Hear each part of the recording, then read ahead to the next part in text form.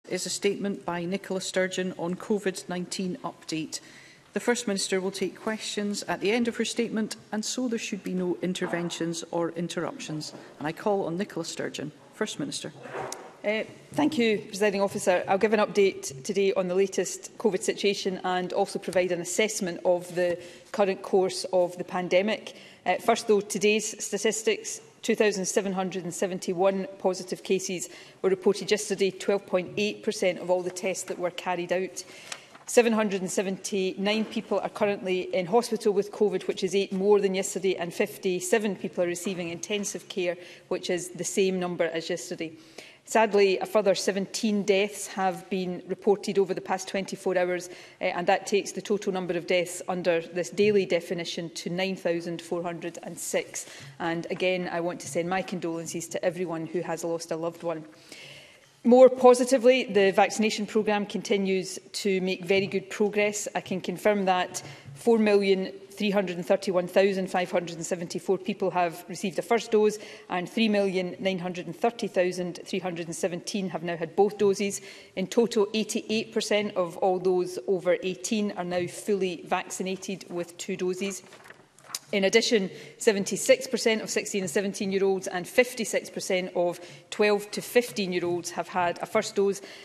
Until now, of course, only a single dose has been recommended for these age groups, but following yesterday's updated advice from the JCVI, we're now preparing to offer second doses to 16 and 17-year-olds. I will say a bit more about the progress of the booster programme later. However, it is worth pointing out that on first, second and booster and third doses, Scotland is currently the most vaccinated part of the UK. That is down, of course, to the incredible hard work of everyone involved in organising and delivering the programme, and I want to record my thanks to each and every one of them. Today's weekly update, of course, coincides with the latest three-week review point for the remaining COVID regulations, and so I can confirm that at our meeting earlier today, the Cabinet agreed to keep the current regulations in place with no immediate changes. However, we also considered, though we have not yet reached final decisions, uh, the possibility of future changes to the COVID certification scheme, and I will say more about that shortly as well. The numbers reported in recent days here in Scotland, which I'll come on to talk about in more detail, illustrate the need for continued precautions. So too does the challenging situation being experienced again across Europe. Several European countries are currently dealing with a sharp increase in cases. Infection rates in Germany have reached their highest level since the pandemic started. The Netherlands reintroduced some COVID measures last week. Ireland has done so today and Austria has just introduced extremely tough restrictions on people who are not fully vaccinated.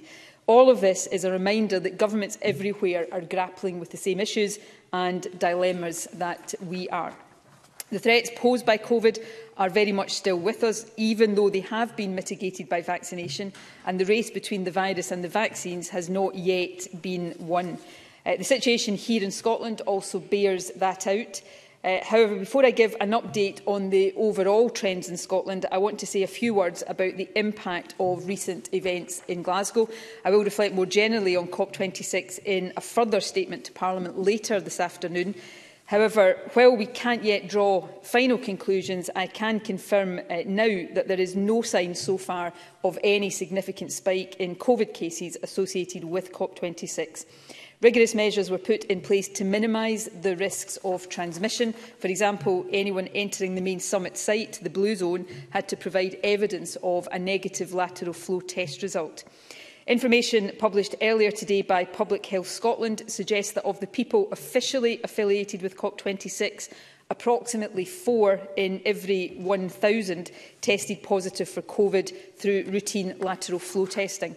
This contrasts uh, with survey data for the Scottish population as a whole, which suggests that last week 12 people in every 1,000 had COVID.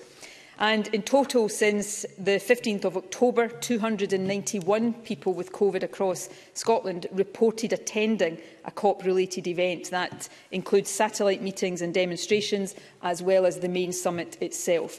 That represents less than half of 1% of all those who tested positive for COVID over the past month and reported through Test and Protect. All of this, at this stage, presiding officer, suggests that the mitigations that were put in place for COP were effective, and I want to put on record my thanks to delegates for their compliance, and indeed to everyone who worked so hard in the run-up to and during COP26 to secure the safest possible environment.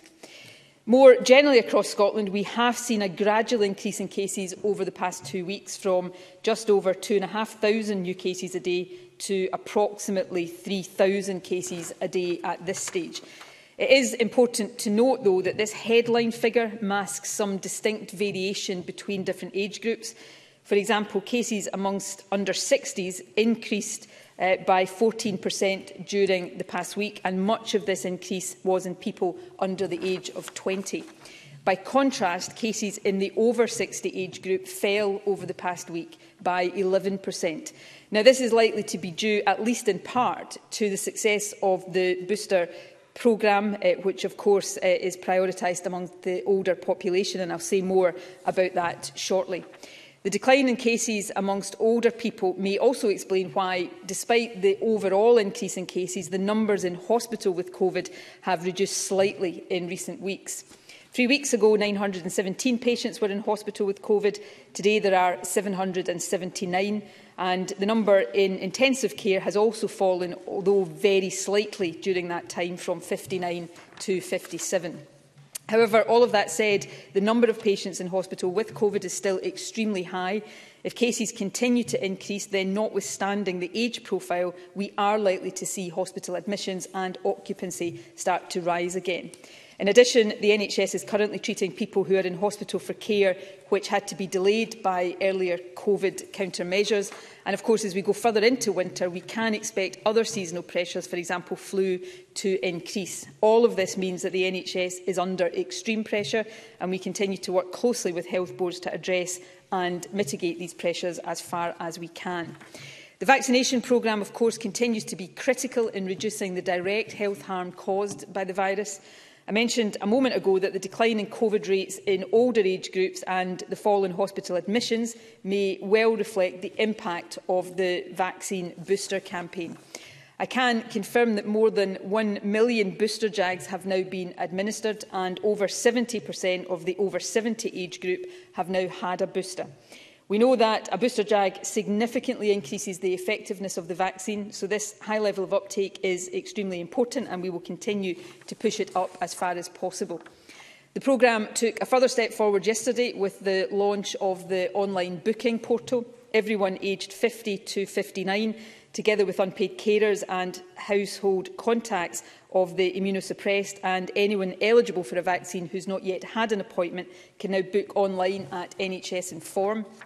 Since yesterday morning, more than 54,000 people have made online bookings and more than 8,000 people have made bookings through the National Helpline, which can be called on 0800 0300 8013. That's 0800 030 8013. It is, of course, important to remember that boosters can only be given 24 weeks after someone's second jab.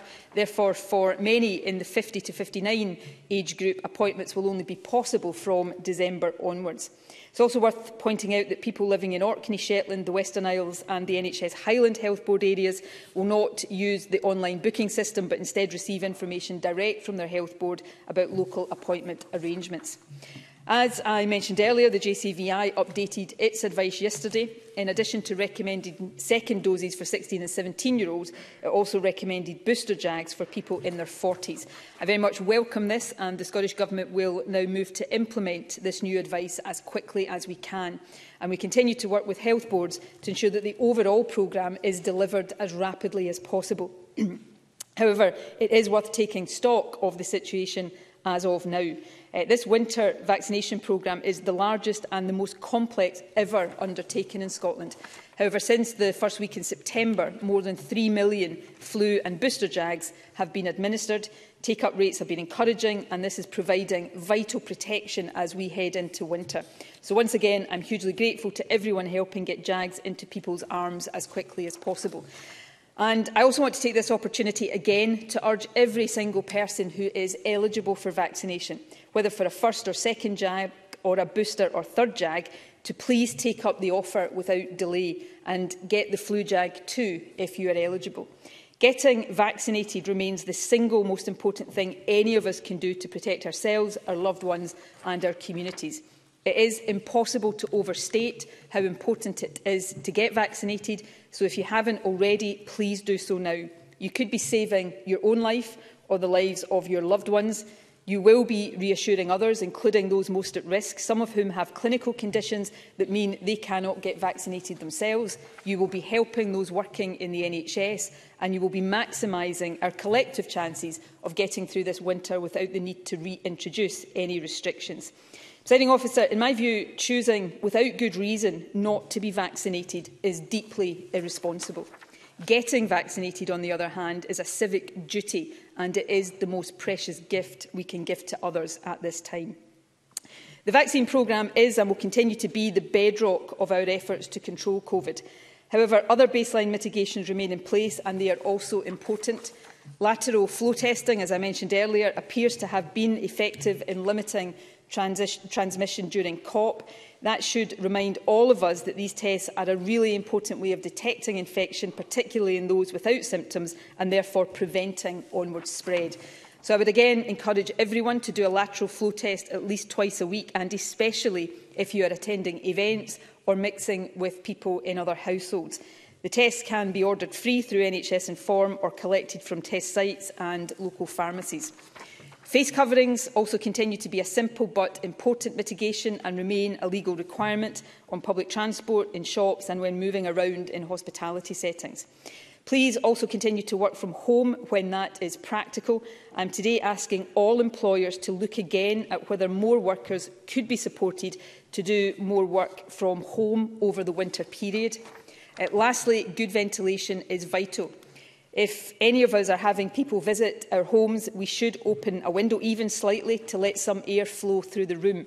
Within the public sector, we've taken significant steps to improve ventilation, for example, funding for carbon dioxide monitors in schools. And in September, we announced the establishment of a £25 million fund to help businesses improve ventilation. Uh, this fund opens for applications next week. Businesses such as restaurants, bars and gyms will be able to claim back costs of up to £2,500 for measures like the installation of carbon dioxide monitors or improvements to windows and vents. More information on eligibility has been published today on the Find Business Support website. All of these basic mitigation measures are really important at this stage, but of course some of them are also valuable long-term investments.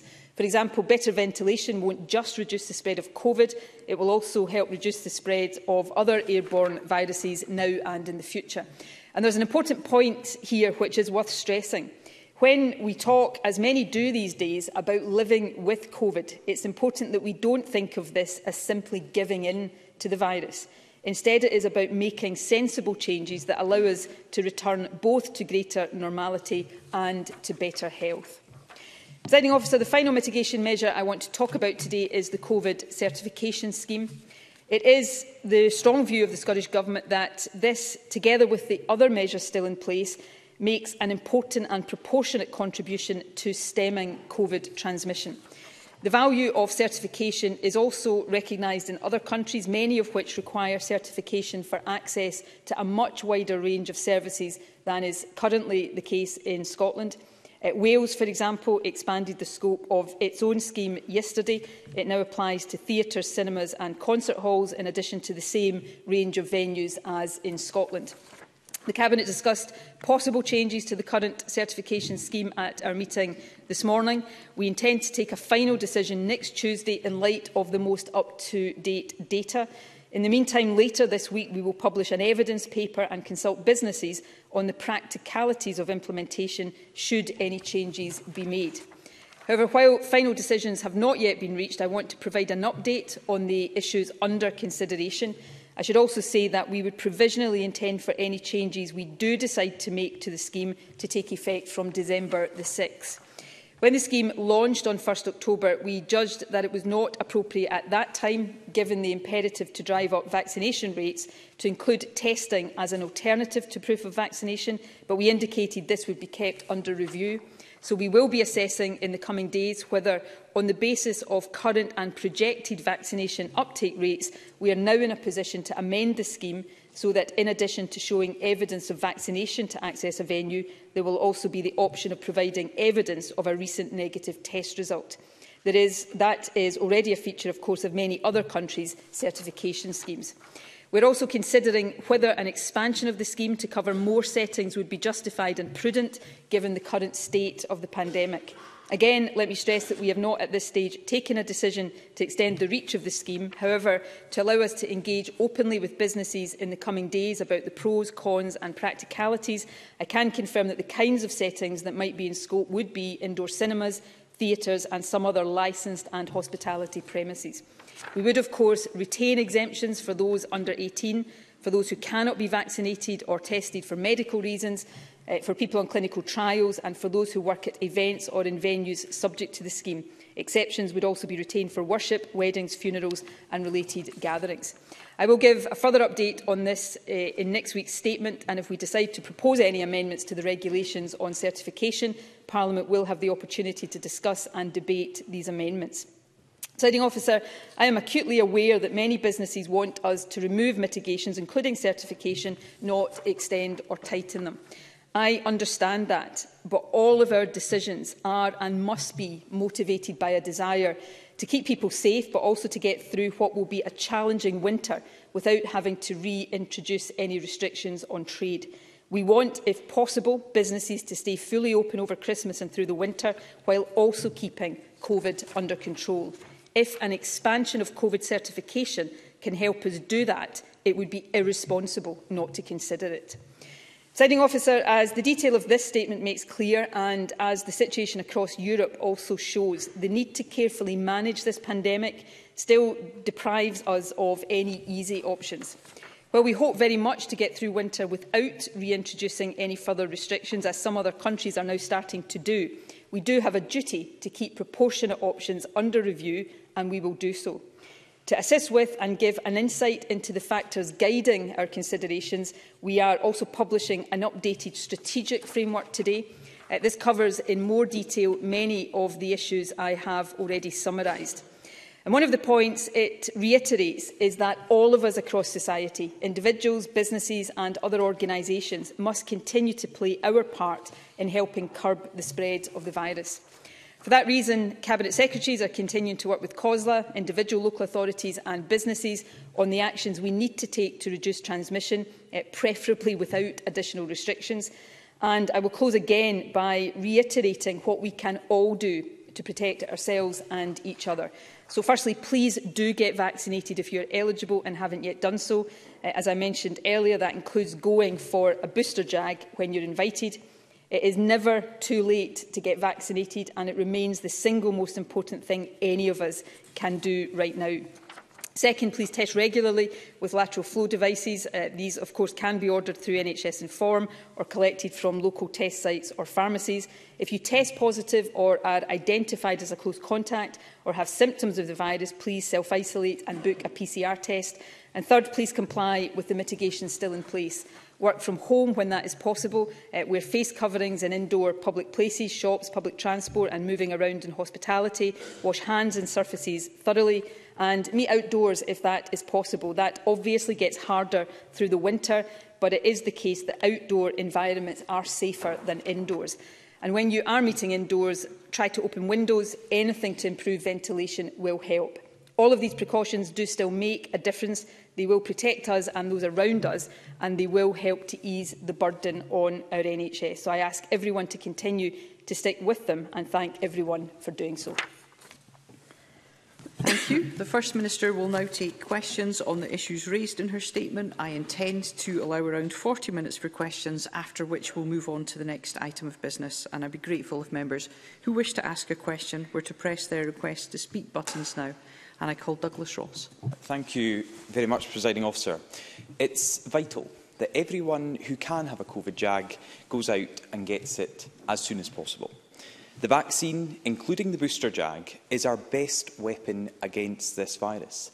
And that's why we've called for the reopening of mass vaccination centres. This will ensure that, alongside the current local delivery programme, we maximise the opportunities for people to get their vaccine booster. So will the First Minister agree to reopen these mass vaccination centres so we can speed up the booster jag rollout and help to protect people quicker? Today, the public were expecting a statement that delivered clear decisions. We all were. That was the message the Deputy First Minister was sent out to give this Parliament last week. Instead, we're being told once more to wait until next week.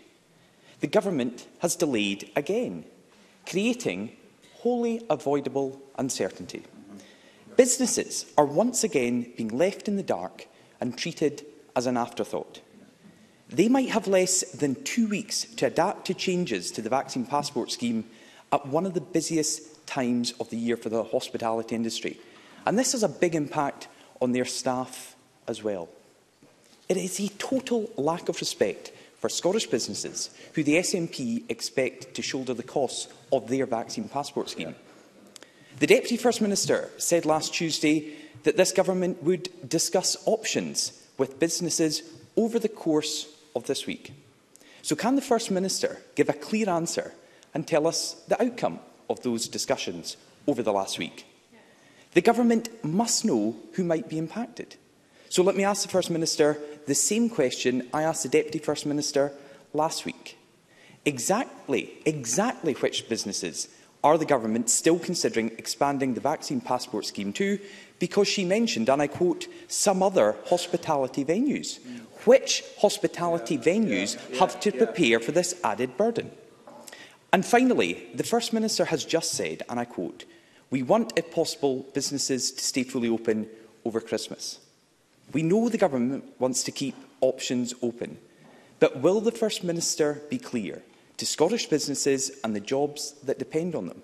Does that statement mean the SNP government are considering closing businesses and premises over the winter months? First Minister.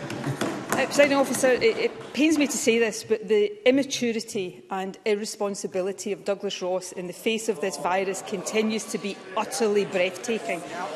Is he, I know he's had other things in his mind in recent days, but is he oblivious to what is currently happening across Europe, where this virus is on the rise again and governments everywhere are once again having to grapple with the most difficult decisions. Uh, we are seeking to do that in a responsible way. Uh, that's what we have done throughout and we will continue to do that in the period ahead. Uh, two issues uh, were raised in particular, one on vaccination. Uh, we are organising the vaccination programme uh, in this phase in the way that makes best use of resources um, and vaccinates people as quickly as possible. Uh, one of the things I've learned in recent weeks is whatever we decide to do, Douglas Ross will probably oppose it. So when we uh, introduced a vaccination programme for younger teenagers uh, that wasn't principally school-based. That was criticised, but then it turned out we managed to vaccinate those younger teachers, uh, teenagers quicker than any other part of the UK. Across every single dose of this vaccine right now, Scotland is the most vaccinated part of the UK. We're not complacent about that. We continue to press to speed this up every single day. But this vaccination programme is going in extremely well and perhaps once in a while Douglas Ross could find it within himself to thank those uh, who are working so hard across the country to make sure people are vaccinated. And on the issue of COVID certification, it, it's simply not an option right now for any government across Europe or, or much of the world to do nothing in the face of this virus. The easiest thing, of course, is to oppose everything that governments uh, decide to do to try to keep people safe. Uh, if I had, D Douglas Ross uh, bemoans the fact that Cabinet hasn't taken a final decision yet. If I had stood up here today and said we had taken a final decision uh, to expand the reach of the certification uh, scheme, he would have criticised that, of course, and said that we were acting too quickly, that we weren't taking account of the up-to-date data. We have decided to consider this carefully, to take account of the up-to-date uh, data and reach a decision next week. Uh, in the meantime, we will publish an evidence paper and we will consult with businesses on the practicalities and the pros and cons. Uh, and we will decide which businesses on the basis of the data and the evidence. I've set out today, in order to give people an update on what we're considering, uh, the, the sectors that we are considering. And people only have to look around at the UK, Wales, uh, right now. Ireland, which is extending its COVID certification, and many countries across Europe to see that actually most governments are grappling with these same difficult decisions. Uh, the easiest thing in the world right now, as Douglas Ross has found out, is to oppose everything. But when you have a duty, as government does, to try to keep people safe, then the decisions are harder than that, and we will continue to take them with a, an intense degree of responsibility. Anna Sarwar. Presiding Officer, I'd like to start by offering my condolences to all those that have lost a loved one uh, and to recognise those who continue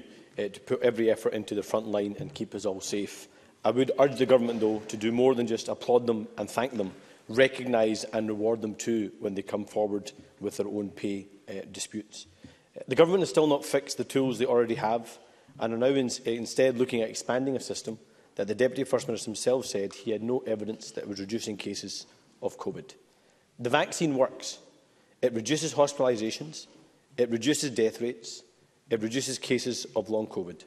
But it does not stop you from getting the virus and it doesn't stop you from spreading the virus. The First Minister in her statement said that lateral flow testing helped to reduce transmission at COP. She has been arguing the opposite in relation to the vaccine passport scheme. At every point in the process of developing vaccine passports, we have argued the importance of a negative test. In fact, every single scheme that the First Minister quoted in her statement and in her response includes the use of a negative test. So in the coming week, accept you got it wrong, admit that testing should always have been at the heart of our COVID reduction strategy, and commit today to including a negative test in any reformed or expanded scheme, to meaningfully engage with the sectors impacted, to share the evidence, to consider the practicalities and provide a financial packages that stop businesses going under and people losing their jobs. First Minister. Firstly, um, on uh, reward for those who work so hard in our National Health Service. I would dearly love to be in a position to give a higher pay rise uh, than we have, and we will always seek to maximise that. But I do think it's important to put on record uh, that NHS workers uh, in Scotland, Agenda for Change workers, uh, are receiving this year the highest pay increase of any NHS workers in any part of the UK, including, including where Labour is in government. Uh, so perhaps we should judge on what they do, uh, not just on what uh, they say. Um, on the issue of of the vaccine certification scheme and the inclusion of uh, a negative test.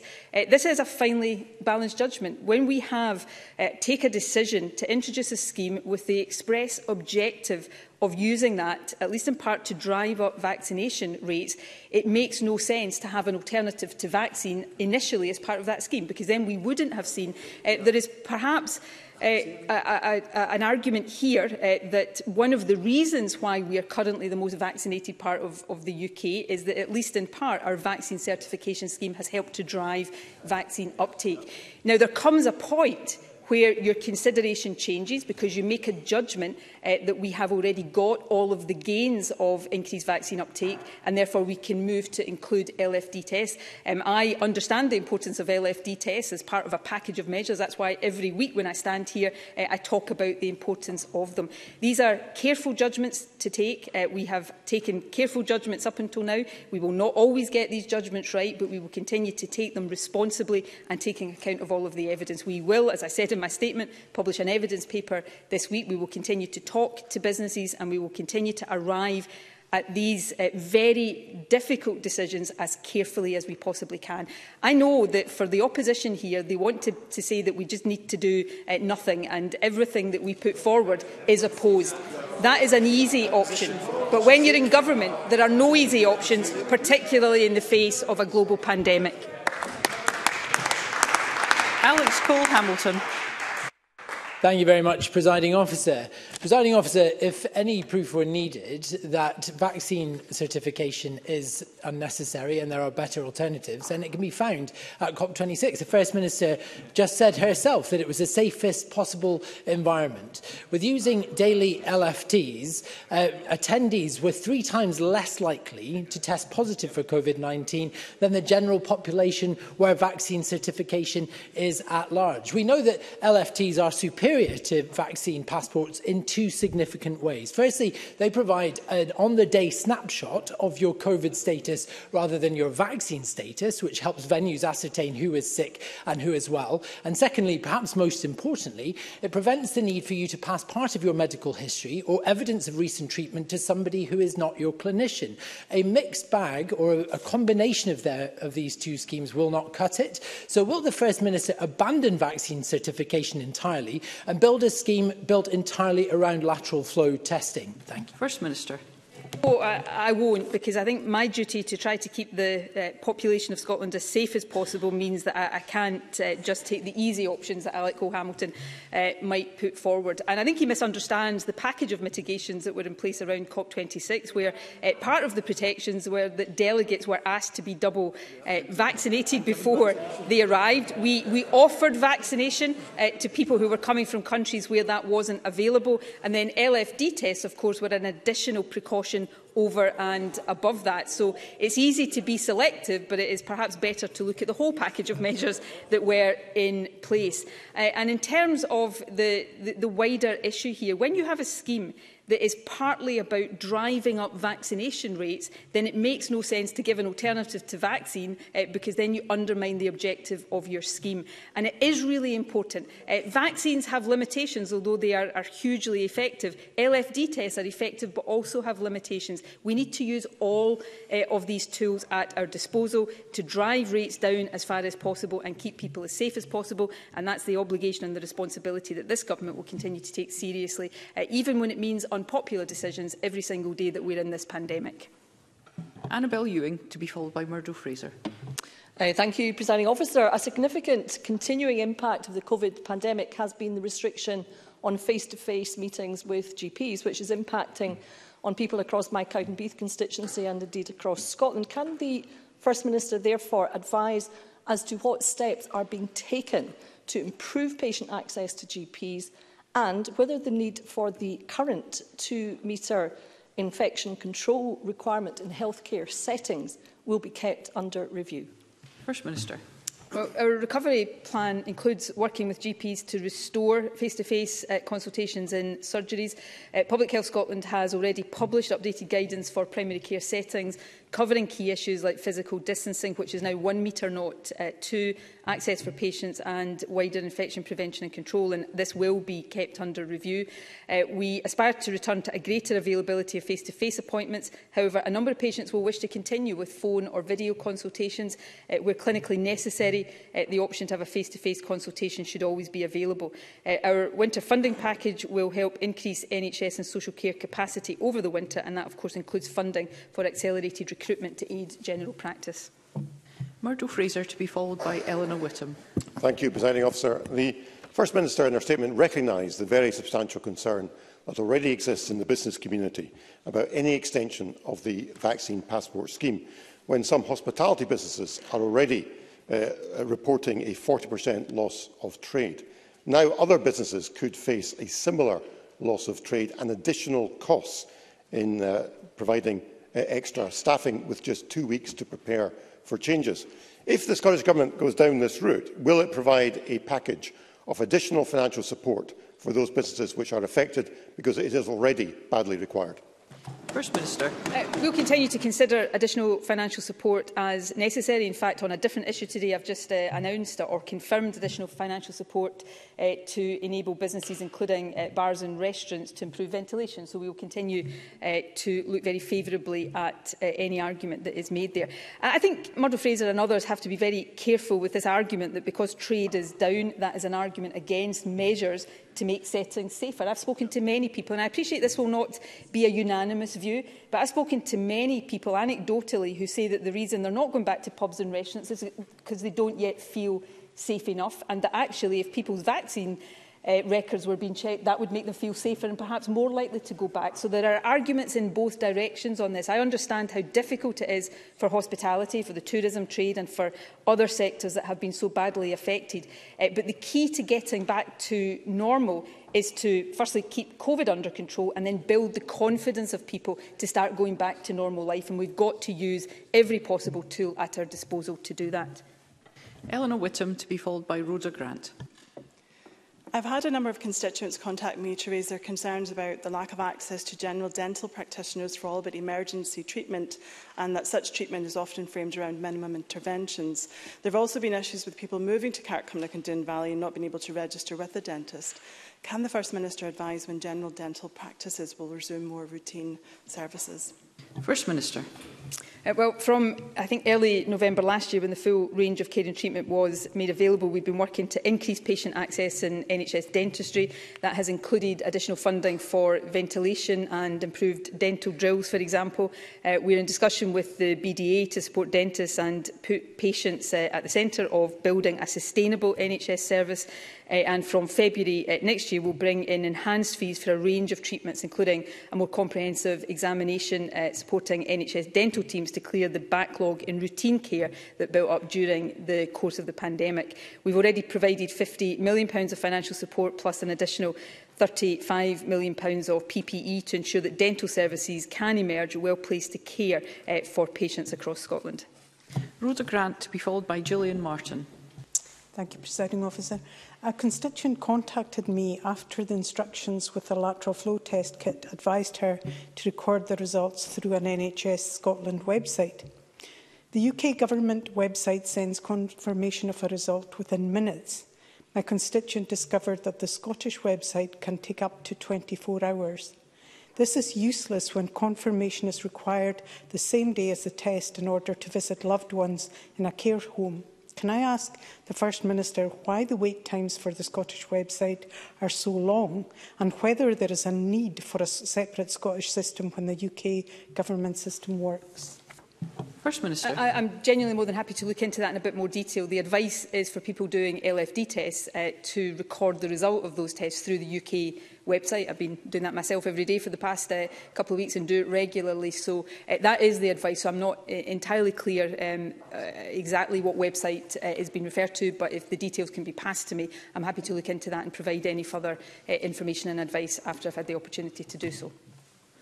Julian Martin to be followed by Donald Cameron. Thank you, President Officer. Aberdeenshire's COVID cases are some of the highest in Scotland at the moment. I'd like to ask the First Minister what government support has been given to local the local authority and health and social care partnership as they try to mitigate any staff absences in schools, nurseries, care facilities and ensure the continued delivery of public services. First Minister.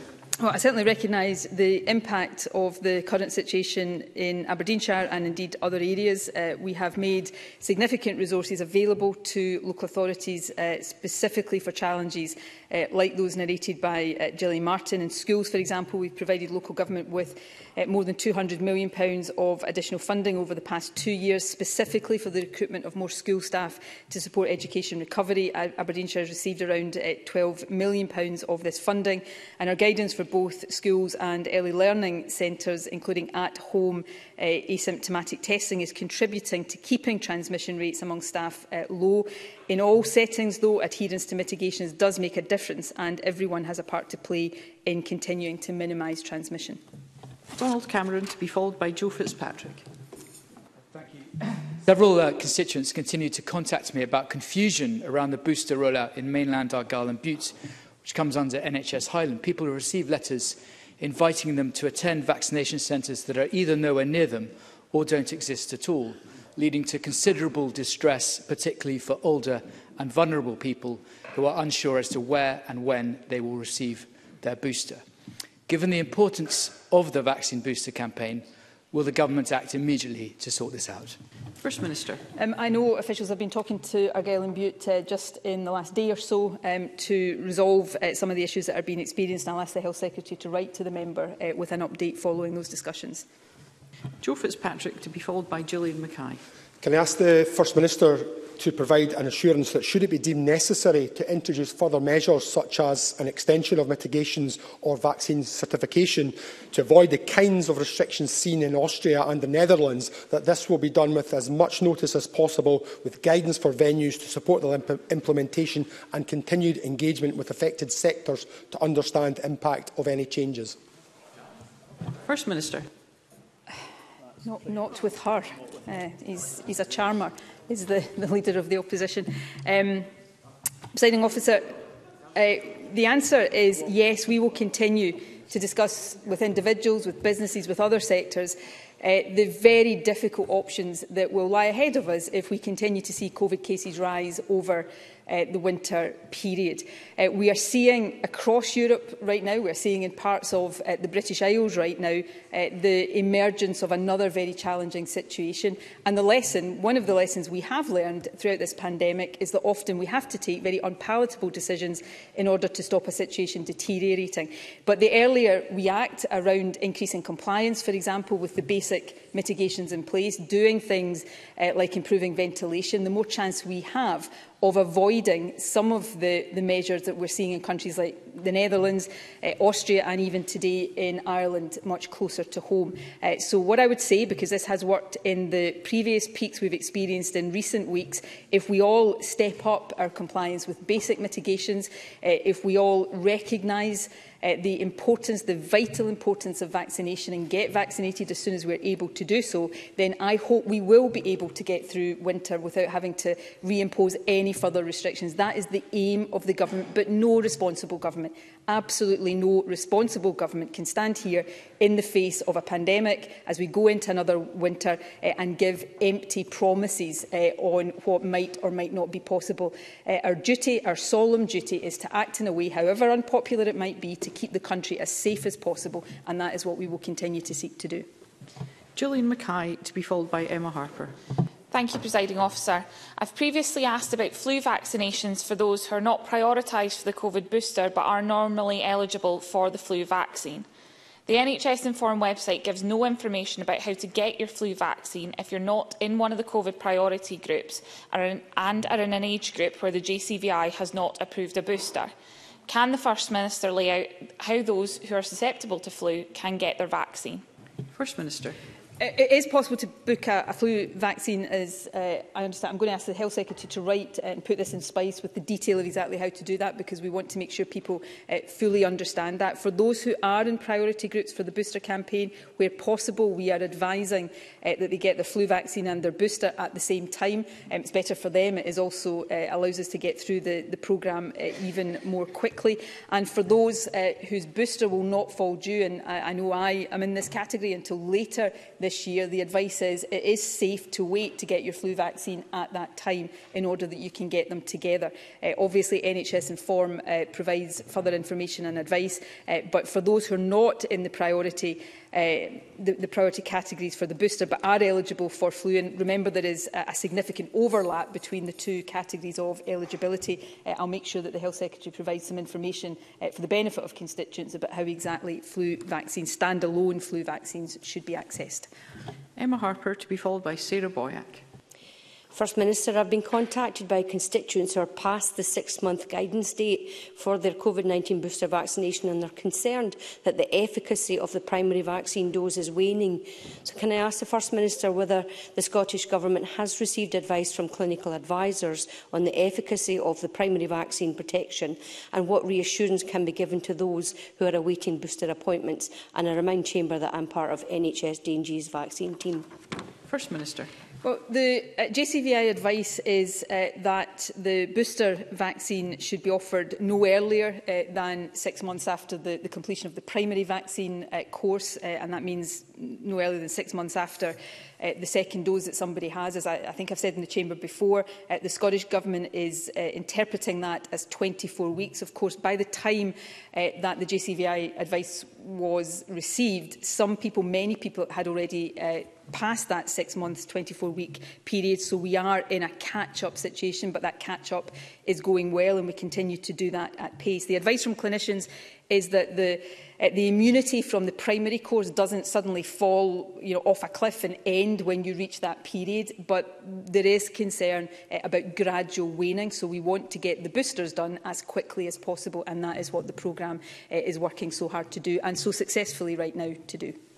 Sarah Boyack to be followed by Siobhan Brown.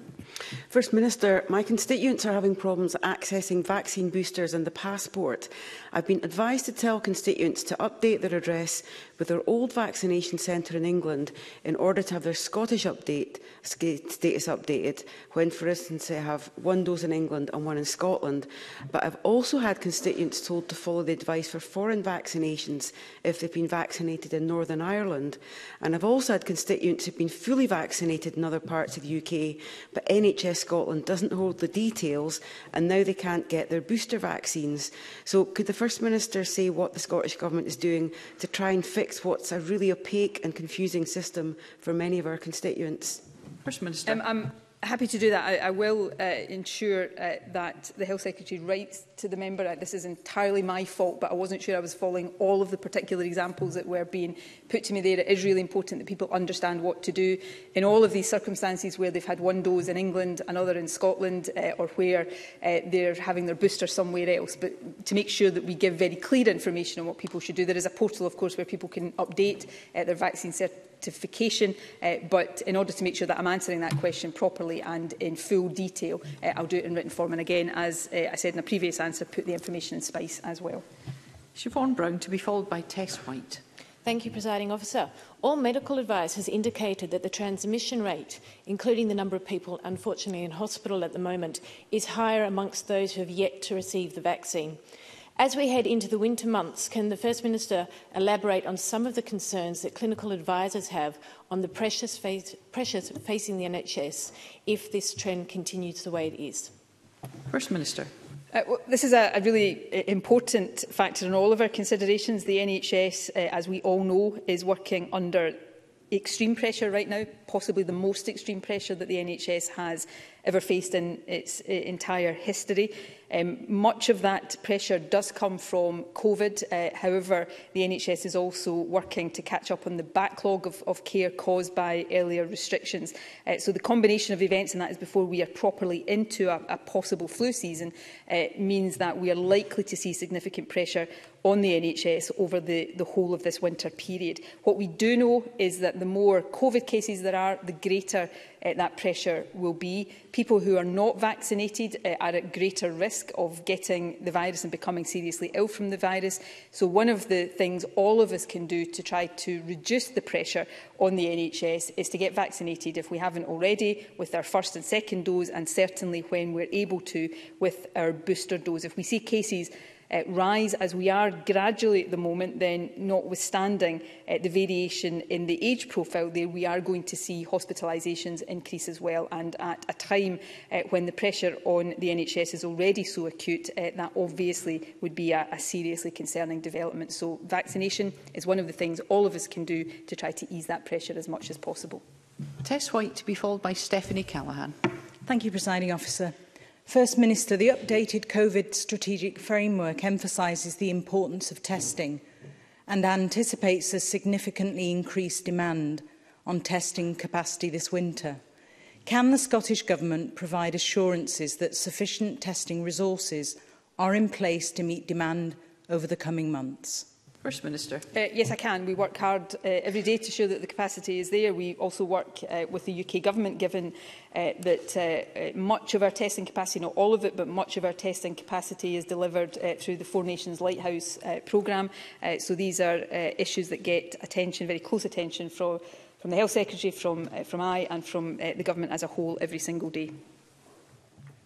Stephanie Callaghan to be followed by Finlay Carson. Thank you, President Officer to ask the First Minister whether autism is classed as a neurodisability, and if so, will young people in the spectrum aged between 12 and 16 years old be invited for a second vaccination? First Minister. Uh, the JCVI have already advised that children and young people aged 12 to 17 who are at an increased risk of severe COVID infection should receive a full course uh, of vaccination, uh, and that uh, means two doses. Eligibility does cover severe uh, neuro disabilities, which does include autism, and vaccination is already being offered to this cohort. Finlay Carson to be followed by Jenny Minto. Uh, presently, a COVID booster vaccination record is not available to those who wish to travel to certain countries, which have recently imposed a 270-day limit on post-second vaccination. This in effect means that those who have received both vaccinations by spring 2021 will be denied entry to those countries despite having had the third vaccination. It's my understanding that currently NHS Scotland cannot provide evidence of a third vaccination, and this is becoming increasingly important for international travel. If this is the case, will the First Minister commit to resolving the issue as a matter of urgency? First Minister. Unless I'm uh, wrong here, in which case uh, I'm sure this will be pointed out, I think the position in Scotland is the same as it is in other parts of the UK right now. We are uh, currently looking at how we incorporate booster vaccinations into the app and the vaccine certificate. Indeed, it's an issue we discussed at Cabinet uh, this morning. Uh, so steps will be taken to ensure, uh, particularly for international travel, where we are uh, dependent, of course, on the requirements of other countries, that people are not disadvantaged and that uh, the benefits of booster vaccines are properly reflected. Jenny Minto to be followed by Martin Whitfield. Thank you, Presiding Officer. Following on from that question, I've been contacted by a constituent who will soon be travelling to Austria and to do so they require proof of their vaccination or booster vaccination within nine months before entry. So could the First Minister uh, expand on COVID boosters being recorded on vaccination status records and the NHS Scotland app?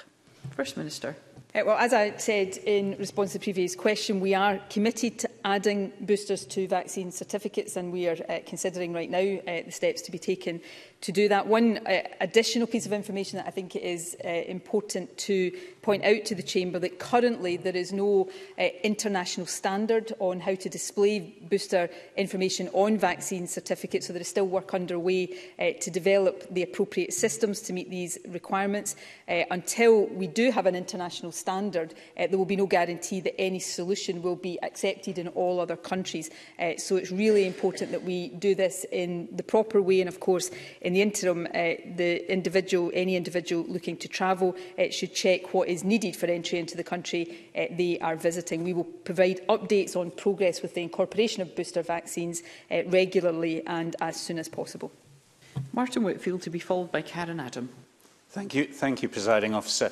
On the 8th of November, the Scottish Government confirmed that as of the 15th of October, 40,768 ventilation inspections had taken place across learning, teaching and play spaces. The First Minister has rightly confirmed the importance of ventilation. So can I ask the First Minister, how many of those spaces failed the inspection under the government criteria and what does the First Minister expect to happen to those spaces that failed? First Minister.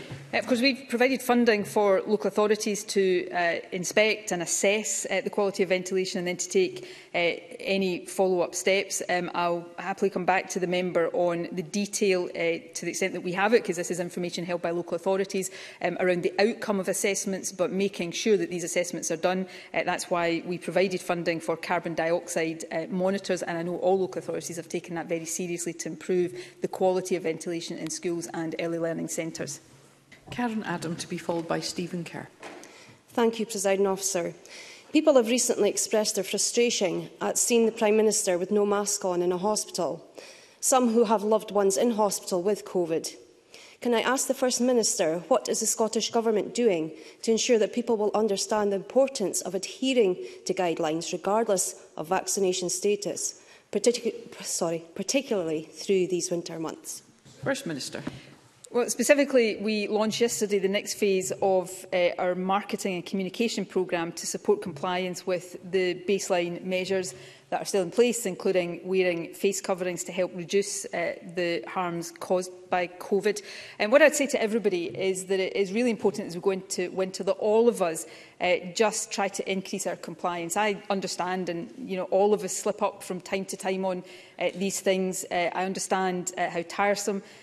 uh, how inconvenient uh, it is, particularly after so long. But as we go into winter, wearing face coverings, reminding ourselves to do it, um, is really important. And I know I'll be doing that, and and I would call on everybody to do likewise. And Stephen Kerr.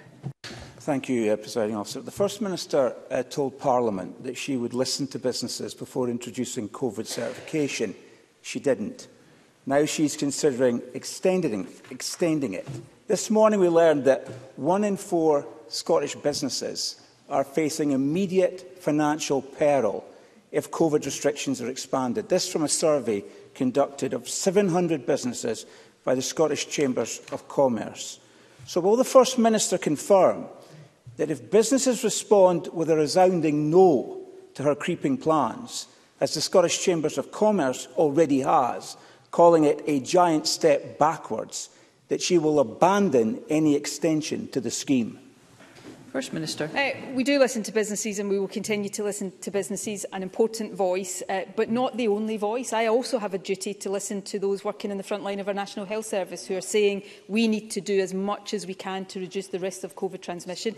And I need to listen to people across the country who want to be able to go back to pubs and restaurants but feel safer as they do so, particularly when we've got rising uh, rates of transmission to those who are particularly clinically vulnerable, uh, who also want to feel safe when they're going about their normal whole life. So one of the difficult things, uh, but I, I accept it as part of the responsibility of taking decisions as opposed to just deciding on a position and sticking to it, is that we have to take account of and listen to a range of views and come to a balanced sensible and responsible uh, decision. Businesses are an important voice in that, but actually we have to take account of the wide range of considerations and factors uh, that lead to us taking decisions in what is an inherently uh, difficult and complex set of circumstances. Rachel Hamilton. Thank you, Presiding Officer. This morning, a concerned constituent whose daughter has COVID contacted me about a potential flaw in the Scottish contact uh, and trace system. She received a text saying, you will be sent a link to a digital self-tracing form to list close contacts. After chasing the link, that hadn't appeared. She was then told that she may not receive the link and would be contacted by a contact tracer.